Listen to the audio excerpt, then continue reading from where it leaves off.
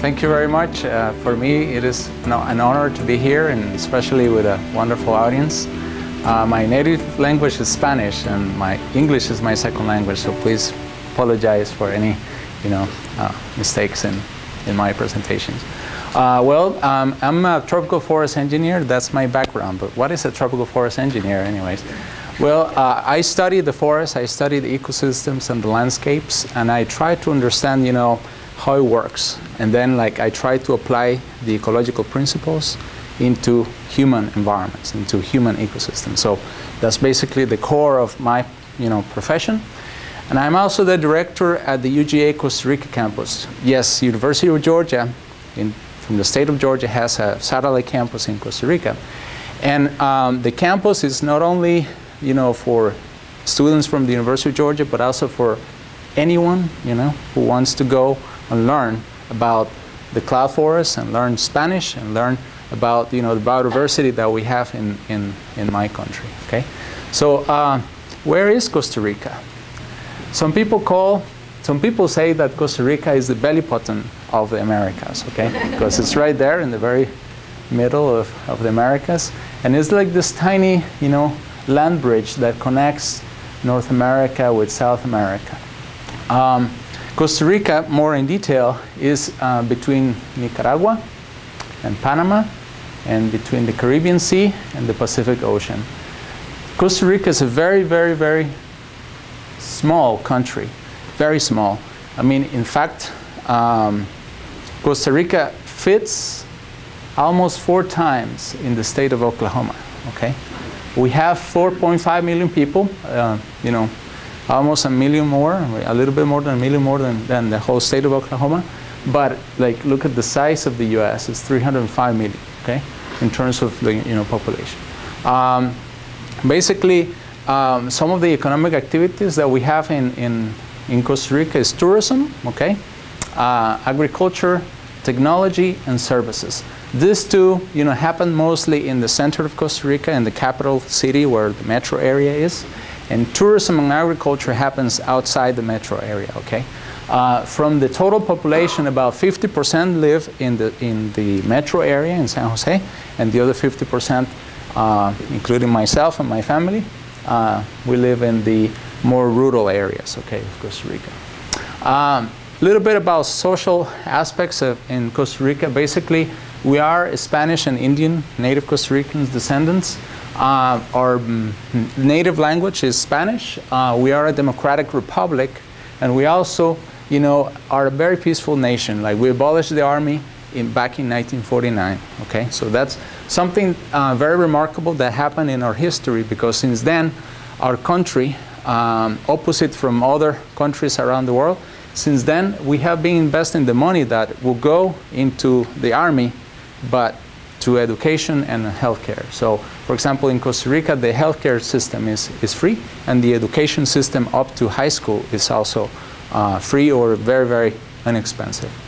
Um, basically, you know, one of the reasons I wanted to show you these facts about Costa Rica, basically to give you an introduction, you know, so that you have more uh, background because in reality, you know, uh, the focus of my presentation is the, the ecology and uh, natural history and conservation of a very special ecosystem, which is the cloud forest, okay? The cloud forest is one of the many types of ecosystems that we have in Costa Rica. But uh, in essence, kind of like to open the door into the, you know, the core of this presentation, I would like to also talk about some of the environmental, you know, characteristics of our country we have a very strict environmental policy. I mean, we're such a small country, and what we have is our territory and our people, okay?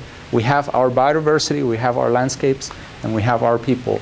And like, you know, the, my ancestors have done a lot, okay, in order to preserve, in order to, to give a very good or a, a, let's say a healthy uh, heritage, you know, to future generations, including myself and you know uh, the future generations that will come, will come along.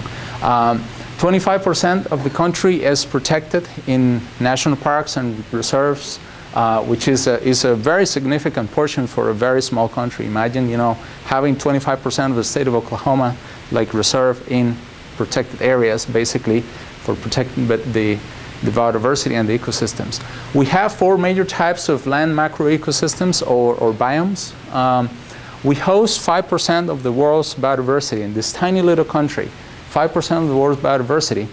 And we have 12 out of the 38 life zones, okay? So giving these characteristics, you know, uh, I want to open the door to the, to the center, to the core of my presentation, which relates to the ecology and uh, conservation natural history of uh, the cloud forest. Well, but before we understand, you know, before we talk about, you know, the details of natural history, and conservation, and all of that, uh, it is important to understand the geology and the geography of, of our territory. Basically, starting with the geology, you know, Costa Rica is the product of the tectonic plates, okay? We have the Caribbean plate here and the Pacific plate. And these two plates have been, you know, like fighting against each other pretty much. And that has created, you know, many, many volcanoes that all of this like uh, brown and light green uh, features here in the map are basically volcanoes, okay? So it's the land of volcanoes. you know, we have, uh, well, active volcanoes and inactive, inactive volcanoes all throughout the country. Uh, when these volcanoes explode, okay, they produce a lot of material, okay, a lot of ash and a lot of igneous rocks, okay, which are volcanic rocks.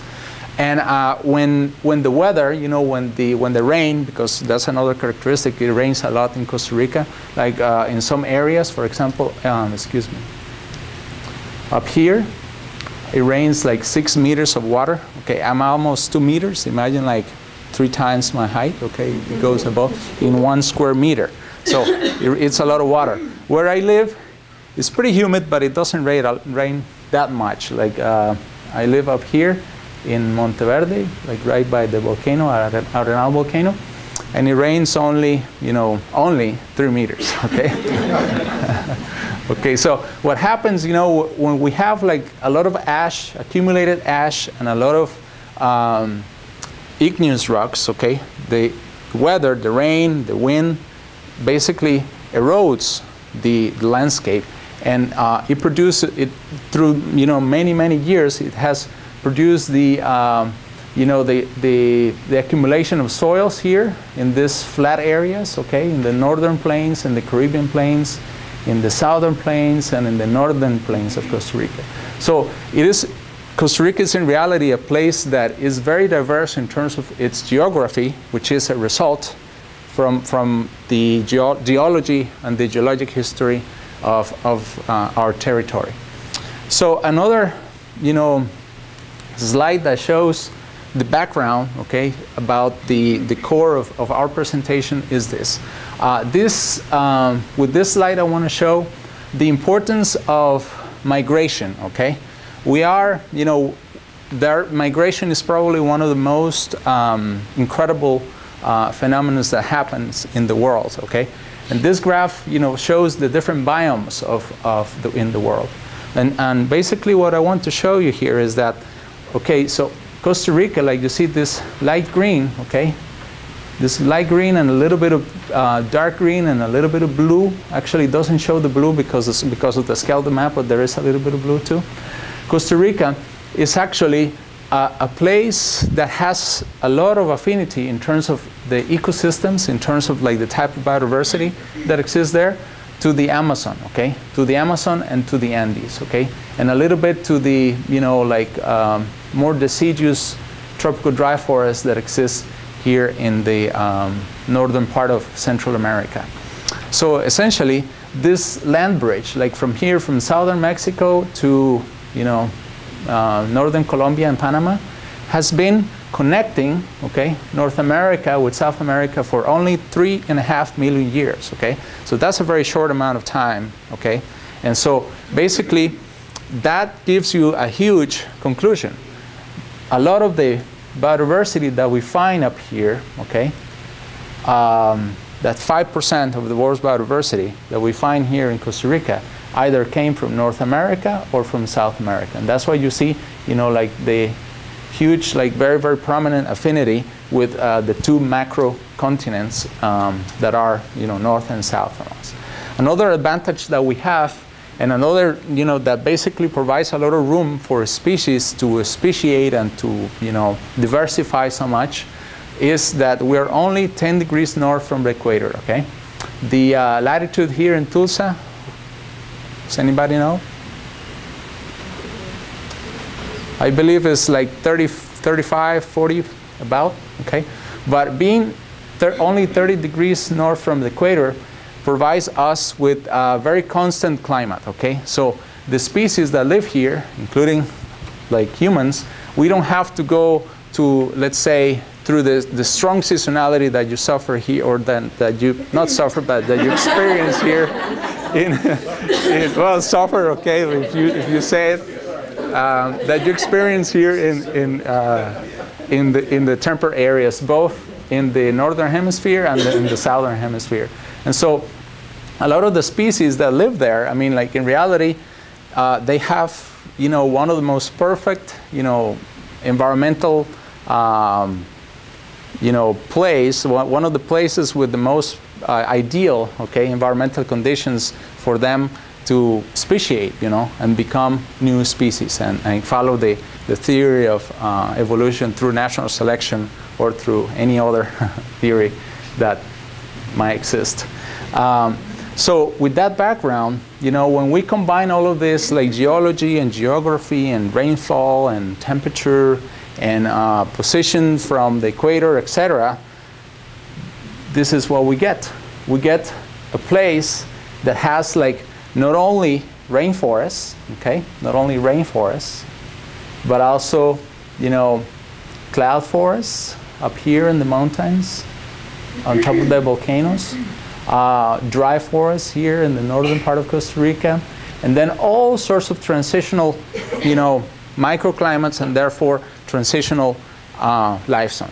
What is a life zone? Basically, a life zone is, is an area, okay, that shares similar environmental characteristics such as um, precipitation, such as humidity, such as uh, potential evapotranspiration, and I'm sorry for the technical word, but evapotranspiration is basically adding the evaporation of the water from the surface of any, any surface and the transpiration of the plants. Okay, when you add those two, and then like you do a ratio with the amount of rainfall, okay, like that's some that's a, an indicator for uh, you know an environmental indicator that help us determine uh, what a, the life zone in, in a specific location. Okay, so when we have a diverse, you know, geology, a diverse geography, a, a you know very interesting, very mild, let's say, environmental conditions that don't go to the extremes as, as it happens in temperate areas, you know, this is, this is what you get.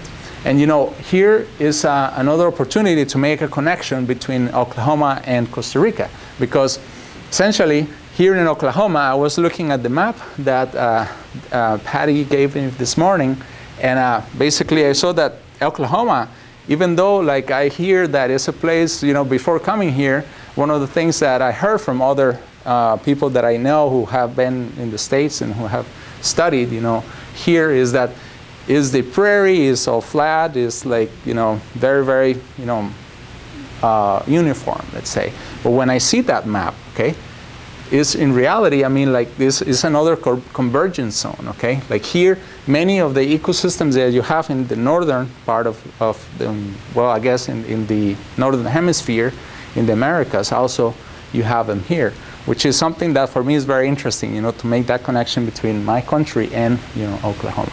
So basically, you know, more in detail, uh, this is, you know, one, one way to visualize you know, the diversity of life, the diversity of ecosystems that we have in Costa Rica. But um, I guess that that was a very wide, okay, a very broad introduction to the cloud forest because in reality, the ecosystem that I really like, okay, and what I, what I live is the cloud forest, okay? The cloud forests basically are um, forests that sit on top of the mountain ranges of Costa Rica, okay?